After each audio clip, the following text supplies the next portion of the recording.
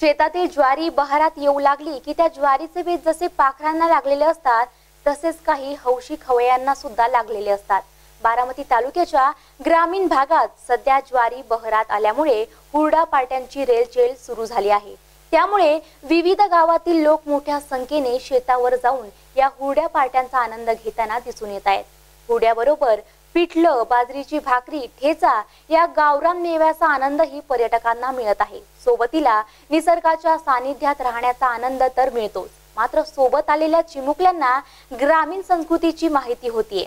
त्यामुळे हुरडा पार्टी शहरी लोकांसाठी एक आकर्षण ठरते तर शेतकऱ्यांनाही आपल्या उत्पन्नाचं साधन निर्माण झालं आहे. चला तर मग पाहूयात हुरडा पार्टीचा हा आमचा स्पेशल रिपोर्ट साधारणतः डिसेंबर जानेवारी महिन्यात ज्वारीचं पीक बहरात येण्यास सुरुवात होते आणि वेध लागतात ते हुरडा पार्टीचे. ज्वारी फुलोऱ्यात येताच बळीराजा गोफन घेऊन धानावरची पाखरं हकलायला तयार होतो. जोरजोरात आरोळ्या टाकून बळीराजा या पाखरांना हकलण्याचा प्रयत्न करताना पाहायला मिळतो. मात्र तरी देखील काही पक्षी या फुलोऱ्यात आलेल्या ज्वारीचा आनंद घेतात. बारामती तालुक्याचा जुरायत भाग ज्वारीचं आगार म्हणून ओळखला जातो. त्यामुळे या भागात सध्या ठिकठिकाणी हुरडा पाट्या रंगत आहेत. बारामतीच्या अरविंद गरगटे यांच्यासह जिरायत पट्ट्यातील अनेक शेतकरी दरवर्षी हुरडा पाट्यांचे आयोजन करतात. यासाठी पुणे सातारा मुंबई ठाणे नाशिक या भागातून हौशी पर्यटक हजेरी लावत असतात. हुरड्याच्या काळात एकट्या गरगटे कुटुंबांच्या शेतात सुमारे हजारो लोक भेट देतात. गेली सात ते आठ वर्ष आपण हा उपक्रम राबवत आहे हुरड्याचा. पुणे परत तसेच फलटण इंदापूर बारामती या साईडवरून लोक आपल्याकडे ओरड्यासाठी येतात.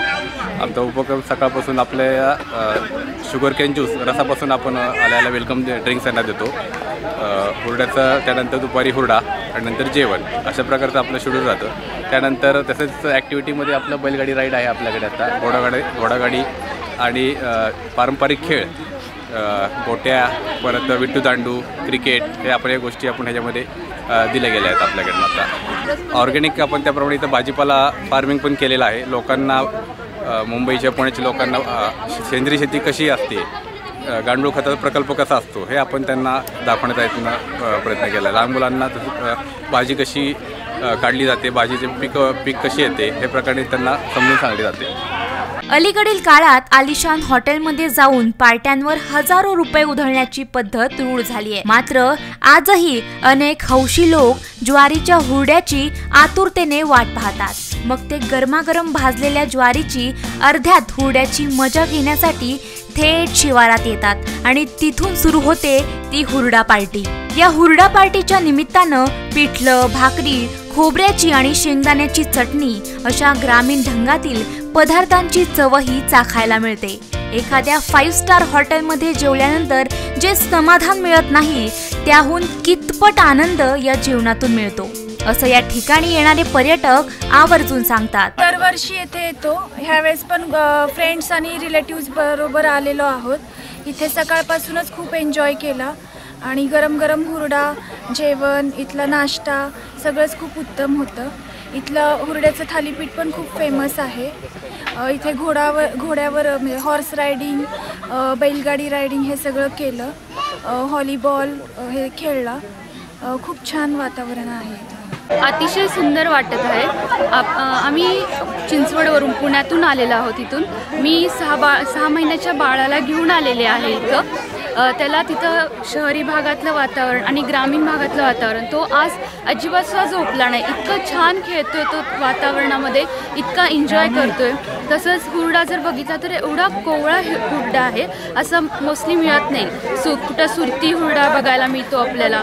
पण हा असा तोंडात खाल्लं की असं विरघळल. एवढा सुंदर हुरडा इथे. तसेच वेगवेगळ्या प्रकारच्या खोबऱ्याची चटणी आहे इथं.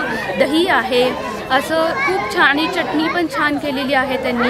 तसंच हॉ खेळायचं बघितलं तर हॉर्स रायडिंग आहे बैलगाडी आहे. तिथून फिरायला मिळतं. शहरी भागात आपल्याला बैलगाडी वगैरे काय फिरायला मिळत नाही. तसं इथं लहान मुलं आल्यावर त्यांना कळलं की बैलगाडीच काय असते.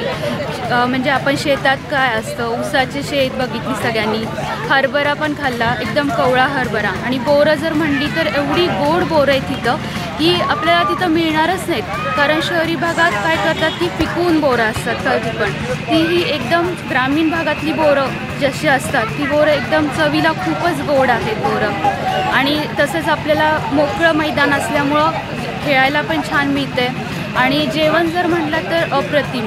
भाक गरम गरम भाकरी वांग्याची भाजी आणि थालपीठ जर खूप सुंदर थालपीठ होतं. जेवण खूप सुंदर होतं. त्यामुळे जे जेवण नाश्ता चहा सगळं आम्ही खूप एन्जॉय केला आणि खूप छान वाटलं आम्हाला इथं. थँक्यू आज आम्ही इथे खूप मज्जा केली. व्हॉलीबॉल खेळलं फुटबॉल खेळलं क्रिकेट खेळलं. खूप मज्जा आली इथे. आणि मेहंदी काढली. इथे सगळी खूप मस्त मज्जा आली. तू काय सांगशील? आम्ही इथे खूप खेळलो आम्ही मज्जा केली.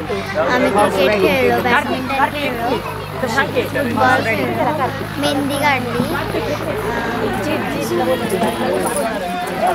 आजच्या बिझी शेड्यूलमध्ये सगळ्यांनी टाईम काढला व्यवस्थित. वेगवेगळे म्हणजे गेम्स परत राईड्स वगैरे सगळे डान्स परत ब्रेकफास्ट वगैरे सगळं व्यवस्थित झाला. ह्या म्हणजे खूप एन्जॉय केला सगळ्यांनी टाईम दिला. आणि फोट आणि इथं वन डे शॉर्ट ट्रिपसाठी पण सगळे येऊ शकतात. टन म्हणजे एक दिवसासाठी एन्जॉयमेंटसाठी खूप छान प्लेस आहे ही.